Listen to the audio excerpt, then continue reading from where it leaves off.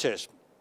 Muy buenas noches, querido Javier y amigos. Bueno, la música suena muy bien. Oír a un presidente del gobierno decir que en próximos días voy a anunciar 11.000 millones para ayudas directas, la música es fantástica, pero visto lo que ha hecho antes, no nos creemos la letra. ¿De verdad van a ser ayudas directas o va a ser más ruido y muy pocas nueces? Bueno, vamos a ver. Eh, en primer lugar, lo que habría que empezar diciendo es que 11.000 millones es el chocolate del oro. ¿eh?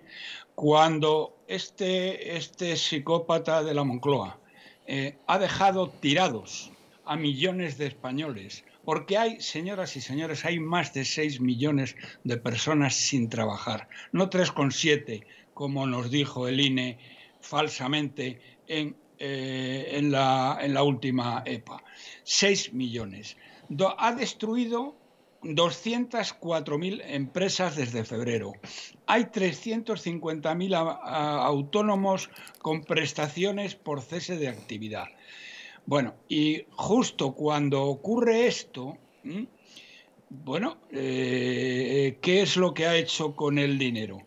Bueno, pues ha metido a 150.000 enchufados, ¿eh?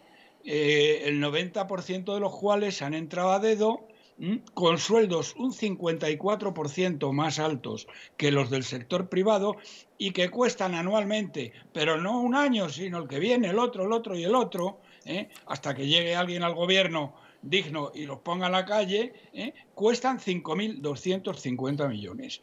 Después, a Cataluña, la semana antes de las elecciones, le dieron 5.150 millones a la organización criminal, en palabras de los jueces del 1 en la organización criminal que dio el golpe de Estado. Y le van a condonar 10.000 millones de euros. ¿eh? Nos han deudado, han deudado a España en 150.000 millones de euros, este miserable. Y por supuesto, como has insinuado, no ha cumplido nada de lo que había dicho. O sea, ha sido siempre la mitad de la mitad de la mitad.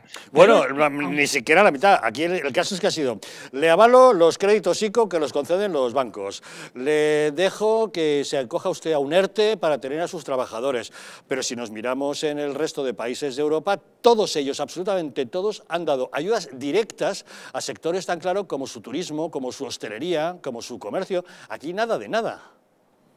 Bueno, mira, voy a aprovechar lo primero que has dicho, porque esto eh, puede devenir en una crisis, eh, mm, iba a decir gravísima, gravísima ya se le acaban las palabras, gravísima lo es ya. Eh, has hablado de los, los avales y quiere hacer esta chusma social comunista, quieren hacer quitas, quitas, lo cual significaría que la banca tendría que asumir el 30% de los avales de las quitas. Si la banca española, que está sentada al borde del abismo y con los pies colgando, le obligan a asumir el 30% de las quitas, la banca española pura y simplemente entra en quiebra total y absoluta. ¿Se imaginan ustedes eh, el país con la banca quebrada y esto es lo que se le ocurre a esta chusma, como por ejemplo, como por ejemplo, ¿eh? se les ha ocurrido también incrementar un 56%, ¿eh? un 56% eh, las subvenciones a los sindicatos, a UGT y comisiones obreras. Esta chusma de canallas, que a pesar de haber eh, ya más de 6 millones de parados, no han dicho esta boca es mía. Y cuando han dicho algo, eh, lo han dicho para alabar al gobierno como la gente de comisiones obreras. ¿Y qué estabilidad, qué estabilidad le augura usted a un gobierno como este en el que constantemente estamos viendo choques entre sus dos socios? Bueno, eh, yo le auguro mm, por ese lado, por ese lado, eh, la estabilidad sería total. Eh, el desastre va a venir por el lado económico. No se olviden ustedes de lo que ha ocurrido hoy en el Parlamento. Supongo que ya lo habéis comentado, pero por si acaso lo recuerdo. ¿eh?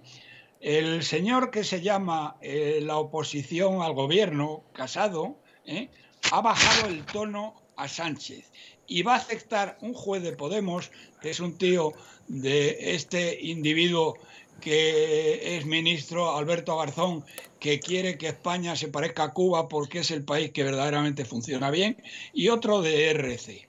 ¿Eh? ¿Acaso se puede caer más bajo? Y este es el, autodenominado líder de la oposición. Pero es que luego, es que luego, ¿eh? el señor Sánchez, ¿eh? ya que me preguntas por la... Sí, por el, por el, presidente le preguntaba, sí. ¿De qué lucha estamos hablando? ¿De qué lucha estamos hablando? Si ha dicho esta mañana que se llevan fenomenal con Podemos y que van todo absolutamente de cine. Pues nada, pues que sigan con ese romance que mantienen, que ya veremos. Hoy, efectivamente, mientras muchos informativos estarán hablando de que Sánchez ha anunciado 11.000 millones, nosotros recordamos que, efectivamente, como usted acaba de decir, ayer el Consejo de Ministros aprobaba aumentar en un 56% las subvenciones a los sindicatos. Tema bastante extemporáneo. Don Roberto Centeno, gracias por recordárnoslo aquí en Los Intocables. Vale, gracias a vosotros. Un saludo, hasta luego. ¿Qué le parece a usted subir eh, el 56% de las subvenciones a los sindicatos eh, y que nadie esté comentando eso y hoy todo el mundo hable de los